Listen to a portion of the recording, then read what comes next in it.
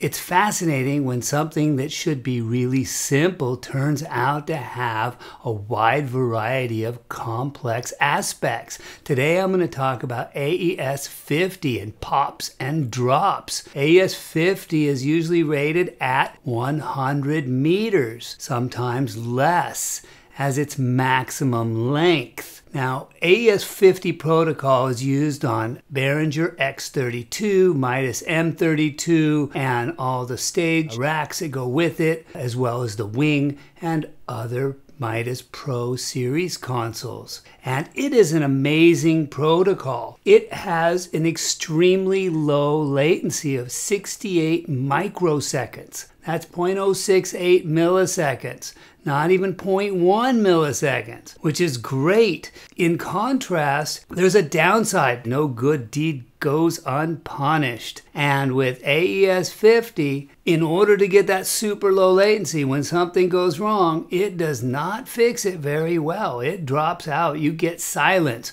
which is the rock show equivalent of a complete meltdown the worst thing that can happen other than something involving fire and explosions. Also, you've got pops. It'll boom, pow, exploding sound. So it'll sound like you have fire and explosions. You've got this interconnect that's connecting all of your inputs to your stage box, to your console. Everything goes silent or everything explodes when AES 50 has a fault. The AES 50 protocol is based on SuperMac, which was developed by Sony.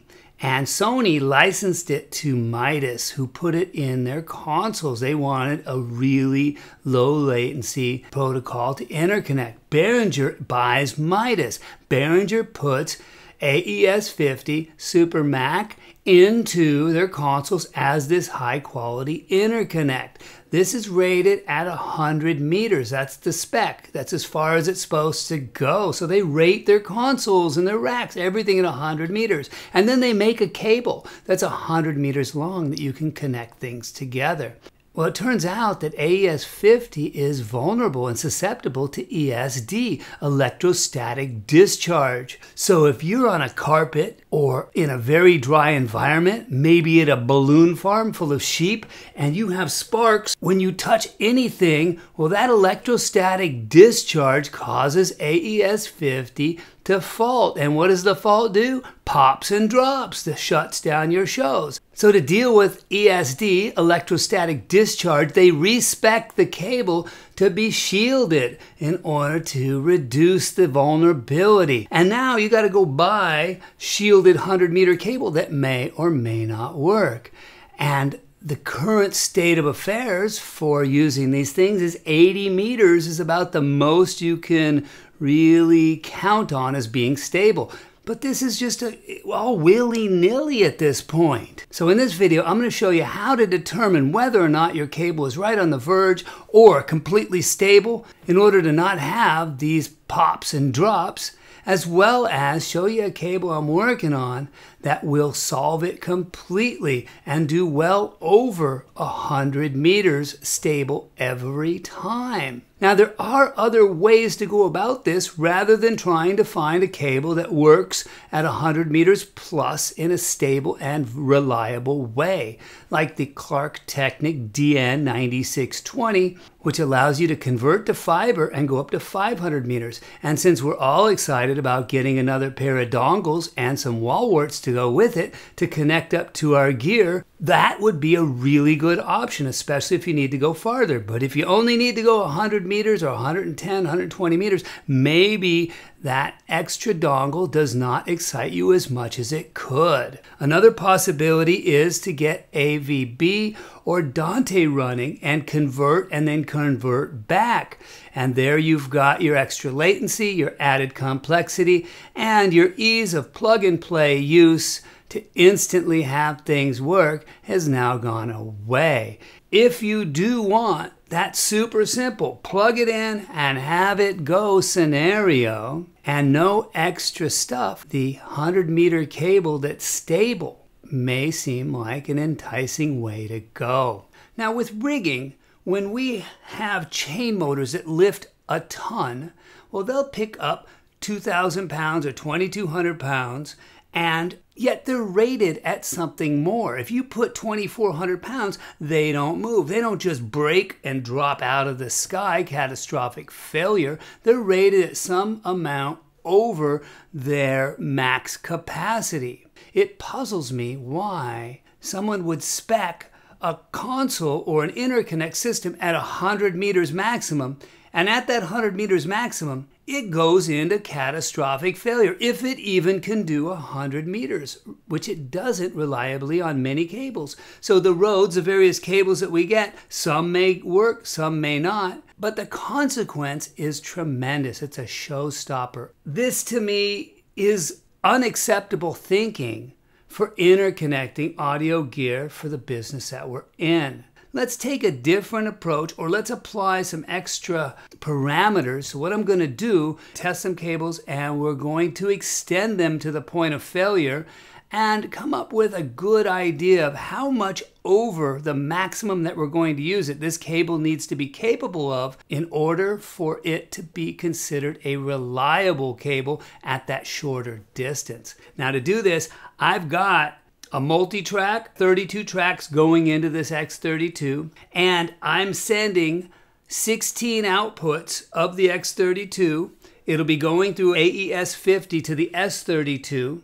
And then out of the S32, I've got the outputs bridged back in to the inputs of the S32 and running those back. Now I'm using the Behringer version instead of the Midas M32 or the newer wing because I figure this is worst case scenario. This is the cheapest and oldest of the boards and racks. If it works with this, it's going to work better on the newer stuff and the higher quality stuff. Let's see how far we can get AES 50 to pipe through cat cable. The cat cable that I'll be using here, I'm working with our manufacturer that makes the SuperCat and SuperCat sound cables to make a cable that is extremely high frequency capable and extremely low loss such that it is optimized for this and also flexible. There's another dynamic too. The cables that work best for AES 50 and what they recommend for extra long lengths is solid conductor wires.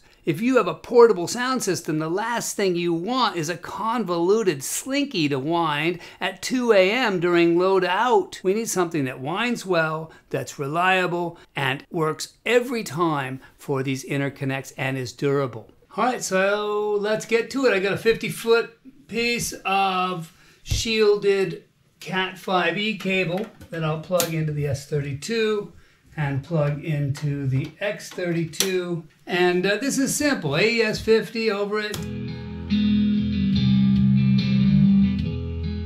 There's our multi-track using 16 outs bridged back in to 32 ins coming back the other way. It works fine with 50 feet. So if I plug in a 100 meter piece of cat cable, let's see what happens.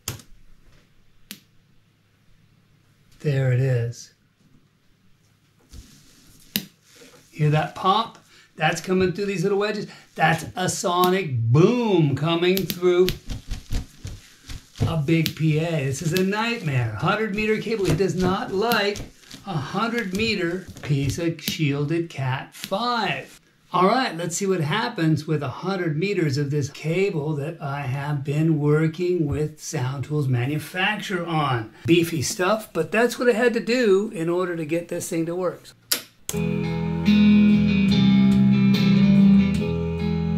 Cool. Let's turn that down a little bit. And we've got 100 meters working.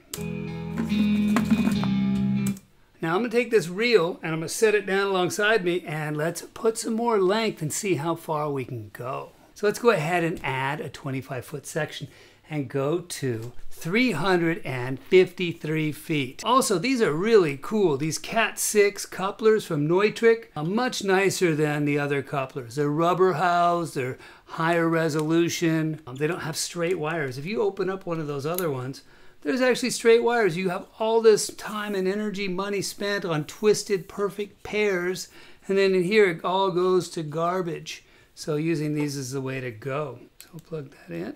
And also they got a really cool locking where you can push a button on the side, it unlocks both at once. All right, 108 meters.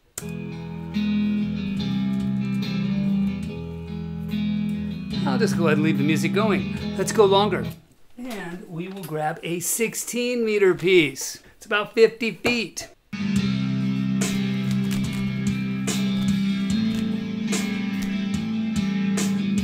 Stable, let's see if we can go farther. 24 meters. Start. Stable.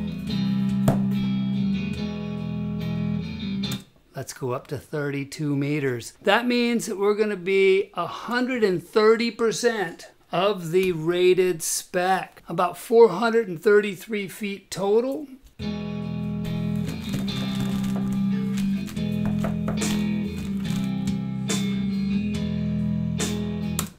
Four hundred and thirty-three feet. All right, so let's go ahead and add that eight meter piece back on. Let's see if we can get to 140 meters plug that in here and this in here. All my connections are good. I can already hear it. Without even firing it up, I can hear it's losing connection.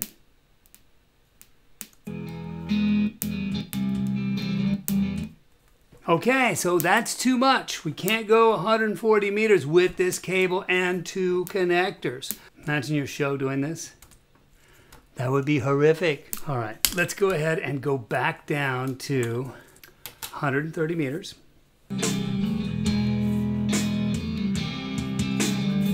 So even with the inferior um, Neutrik coupler, we're still good.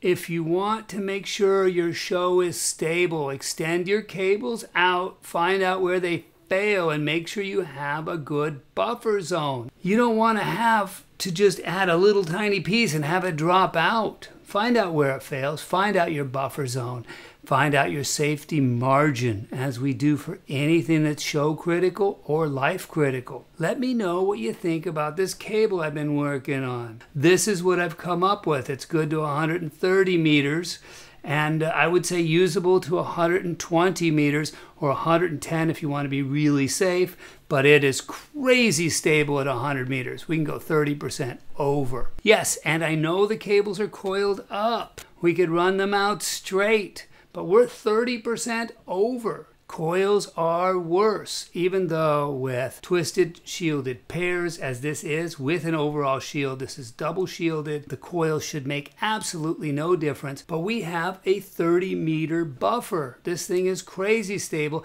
and the coil, if there's going to be problems, it's going to be caused by the coil, and the way we would solve the problem is running it out straight. Maybe running it out straight will get us even farther. That would be an interesting test for another day, and thank you for joining. All right, it's finally here the new SuperCat XM cable.